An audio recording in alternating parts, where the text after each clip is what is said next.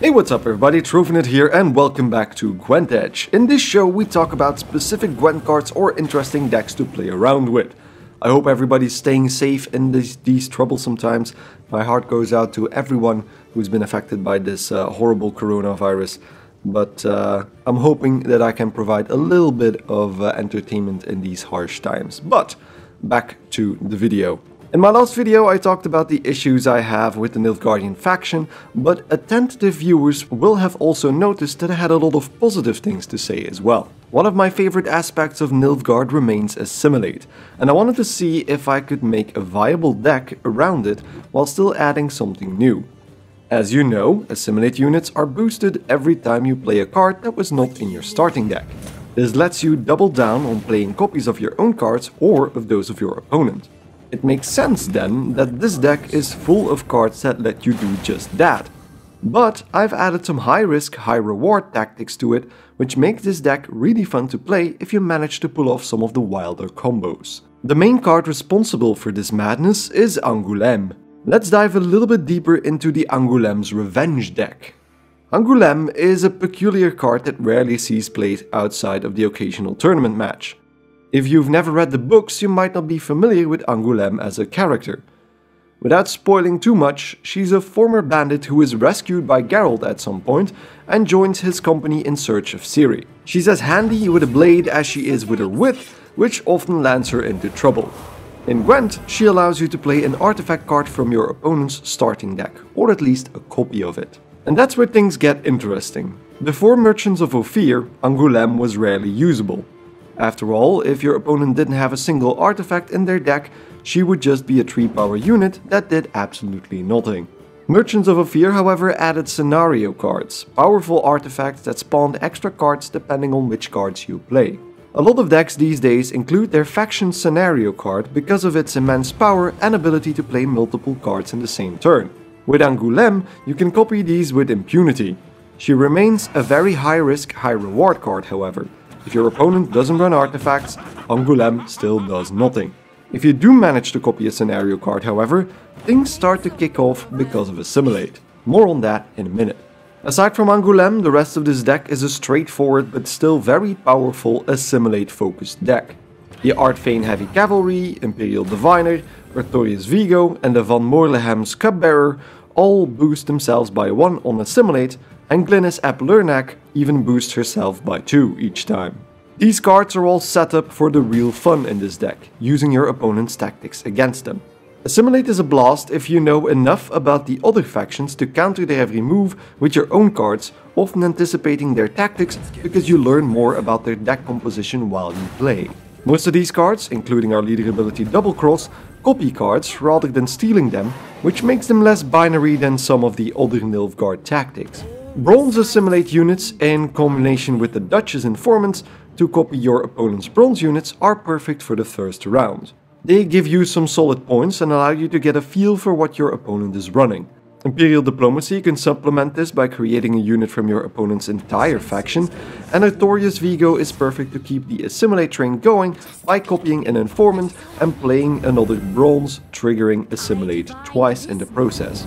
If you see an interesting unit you can use later, don't forget to use Yennefer's Invocation to put it on top of your deck so you can use it in the next round. You won't win every first round this way, but Assimilate is as much about gathering information as it is about scoring points. The next rounds are where things start to get interesting. The best setup for the later rounds is without a doubt Glynnis. I often even trigger double cross immediately to buff her up a little, or play Ffion as a defender first to keep her safe. My main follow-up on Glynnis is more often than not Letho Kingslayer, who can transform into another Glynnis, giving you 4 points for every assimilate trigger with just 2 units. You can transform him of course in anything else if you see something more useful on your opponent's side of the field. His transformation also counts as a different unit, so he triggers Assimilate whenever he appears on the field too. Once you have your Assimilate unit set up, it's time to start copying. Cantarella is one of my favorite gambles. She allows you to draw the top card from your opponent's deck, so it can't be anything from a lowly 4 provision unit to a full-blown scenario card, triggering Assimilate in the process nonetheless. As we said before, Artorius can trigger Assimilate twice if you play him correctly, and our other powerful mage in the deck, Triss Telekinesis, allows you to play a copy of a bronze special card from either player's deck. It's a copy, so it triggers Assimilate on its own, and if you combine it with Diplomacy or Experimental Remedy, you'll trigger Assimilate again, ramping up the points total really, really quickly.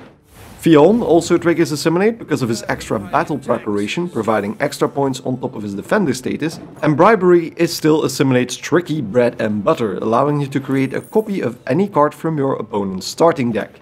You only get 3 randomly selected options though, so again, very high risk, high reward. Which leads us back to Angoulême.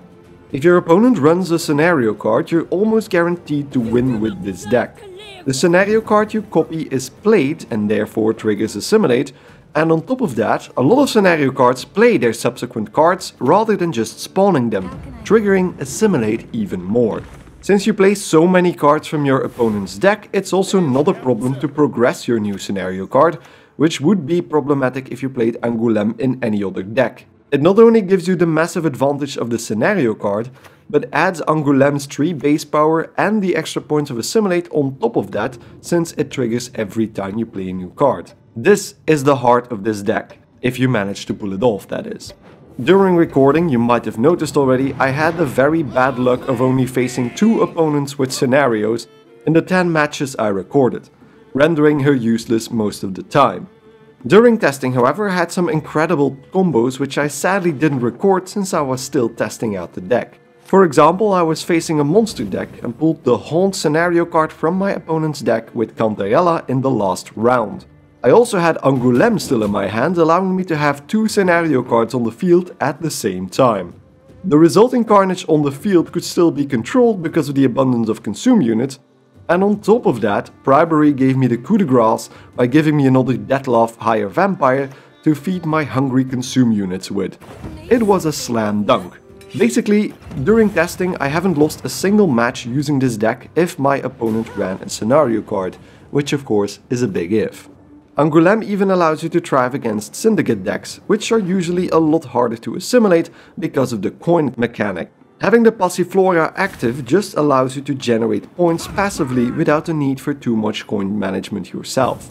With Angoulême, this is basically the perfect anti-scenario deck, so if you're sick of facing scenarios, this might be a deck you should try out.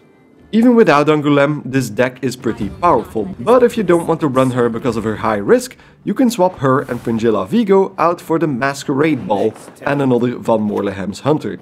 The ball eventually plays two more Fangs of the Empire which both trigger Assimilate again without the need for your opponent to play any scenario cards and adds a little more poison for strategic use. The choice is yours to make. And that's it for today. What do you think about Angoulême's Revenge? Got any other ideas on how to improve it or any ways to outthink your opponent?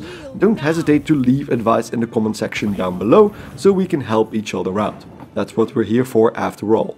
Any feedback is greatly appreciated. Check me out on Twitter at, at TrophyNuts, that's T-R-O-V-N-U-T, if you want to talk. And if you enjoyed this video, why not give it a like? Any support is greatly appreciated. Thanks enormously for watching, and I hope to see you guys in the next episode of Gwent Edge. Stay safe, and goodbye.